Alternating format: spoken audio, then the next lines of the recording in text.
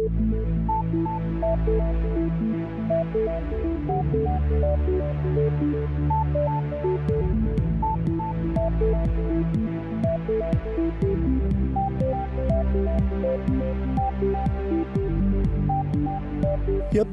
أن القمر تحول إلى أحد أسباب الصراع بين الولايات المتحدة والصين في ظل تنافس البلدين على استغلال موارده الطبيعية.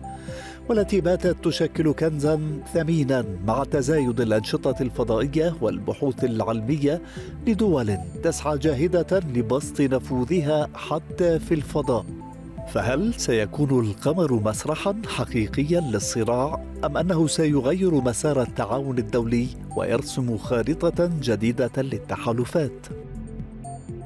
في العقدين الماضيين كشفت البحوث النقاب عن صور مختلفة للقمر برزت فيها حفر عميقة تحمل اسم الحفر القمريه في قطبي القمر وتحتوي على رواسب جليدية ما يجعلها مصدرا مائيا غنيا ومصدرا للأكسجين والهيدروجين.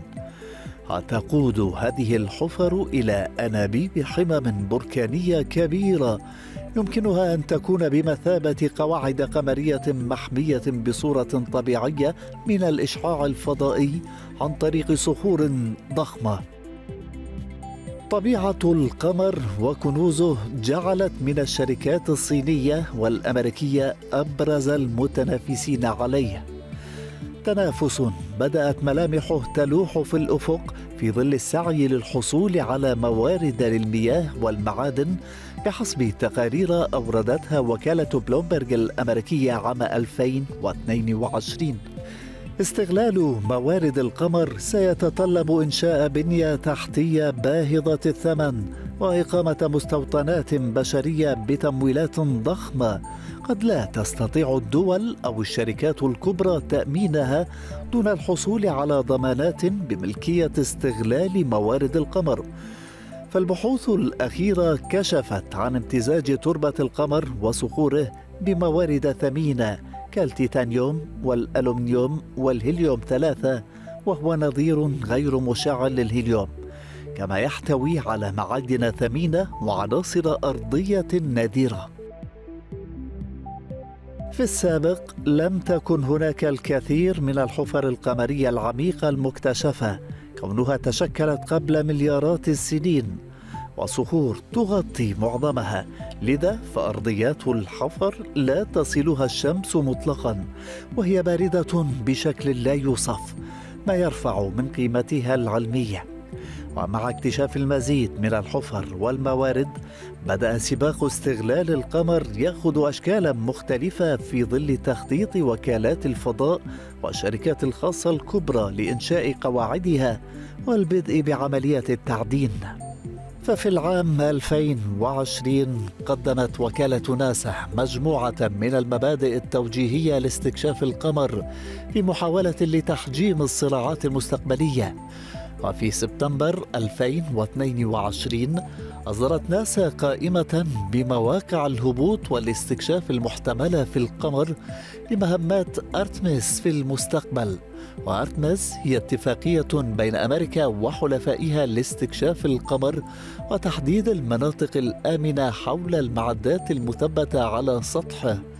وتتيح الاتفاقية لشركات الدول المنضوية فيها باستخراج المواد بهدف الربح. إلا أن هذه المواقع باتت أبرز هدف لأبحاث برنامج الفضاء الصيني لاستكشاف القمر ورسم خطط إنشاء مستوطنات طويلة الأجل واستغلال موارده.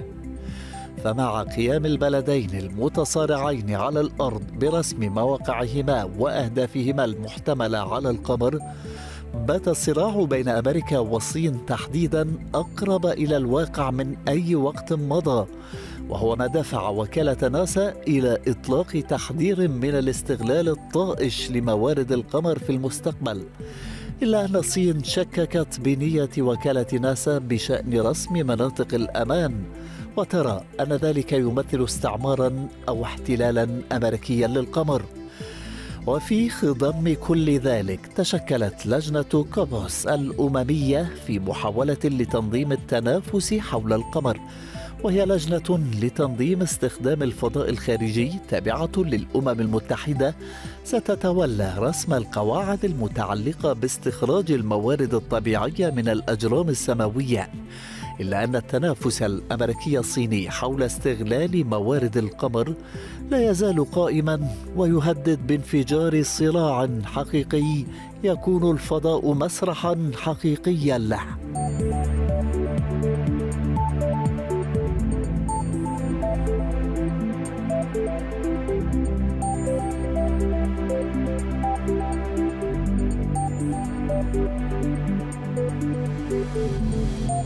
Thank you.